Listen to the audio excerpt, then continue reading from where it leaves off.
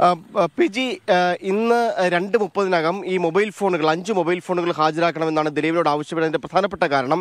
ദിലീപ് എന്തൊക്കെയോ ചില കാര്യങ്ങൾ മറയ്ക്കുന്നു എന്നുള്ള അന്വേഷണ സംഘത്തിന് ബോധ്യപ്പെട്ടുണ്ട് അതിൽ പ്രധാനപ്പെട്ടത് എന്തിനു വേണ്ടിയാണ് ഈ കേസെടുത്തിന് തൊട്ടു പിന്നാലെ ദിലീപും ഒപ്പം തന്നെ അപ്പുവും സഹോദരൻ അനൂപും തങ്ങളുടെ മൊബൈൽ ഫോണുകൾ മാറ്റിയത് എന്നുള്ളത് സംബന്ധിച്ചാണ് അന്വേഷണ സംഘത്തിന്റെ പ്രധാനപ്പെട്ടത്. അതിൽ പ്രധാനമായി അവർ നിഗമനത്തിലെത്തിയത് ഈ സംഭവങ്ങൾ നടക്കുന്ന സമയം അതായത് ബാലചന്ദ്രകുമാർ പരാമർശിക്കുന്ന ആ കാലഘട്ടത്തിലൊക്കെ തന്നെ ഇവർ ഉപയോഗിച്ചിരുന്ന മൊബൈൽ ഫോണുകളാണ് ദിലീപ് അടക്കമുള്ളവർ ഉപയോഗിച്ചിരുന്ന മൊബൈൽ ഫോണുകളാണ് മാറ്റിയിരിക്കുന്നത് എന്നുള്ള കാര്യമാണ് ഈ ഘട്ടത്തിൽ വ്യക്തമായിരിക്കുന്നത്.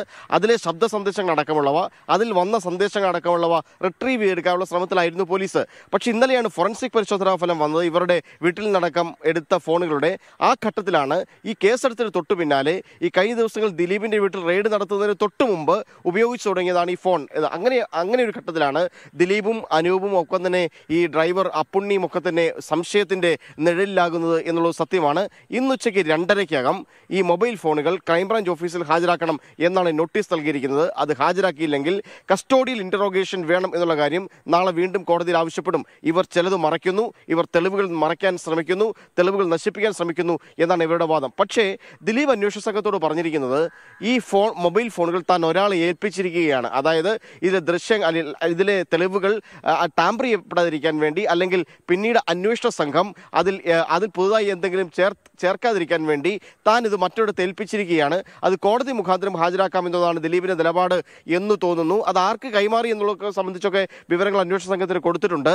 പക്ഷേ അന്വേഷണ സംഘം ഇപ്പോൾ ആവശ്യപ്പെട്ടിരിക്കുന്ന നോട്ടീസ് കൊടുത്തിരിക്കുന്നത് ആ മൊബൈൽ ഫോൺ ഞങ്ങൾക്ക് വേണം. അതാണ് ഈ കേസിലെ പ്രധാനപ്പെട്ട തെളിവ്. അത് ഉച്ചയ്ക്ക് രണ്ടരയ്ക്കകം നിങ്ങൾ നേരിട്ടോ അല്ലെങ്കിൽ ആൾ മുഖാന്തരമോ കൊണ്ടുതരണം എന്നാണ് പറയുന്നത് അതിനെ വളരെ സീരിയസ് ആയി തന്നെയാണ് അന്വേഷണ സംഘം കാണുന്നത്.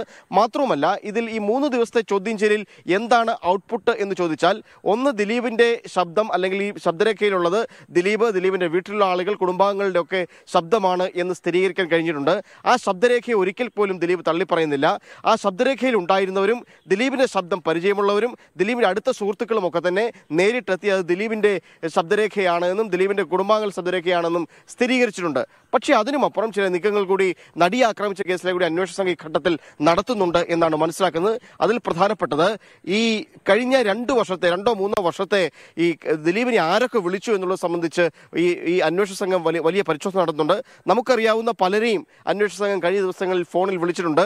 നിങ്ങൾ എന്തിനാണ് ദിലീപിനെ വിളിച്ചത് തുടങ്ങിയ കാര്യങ്ങളിലൊക്കെ തന്നെ ഒരു വലിയ വിവരശേഖരണം ഈ ഘട്ടത്തിൽ നടത്തുന്നുണ്ട്.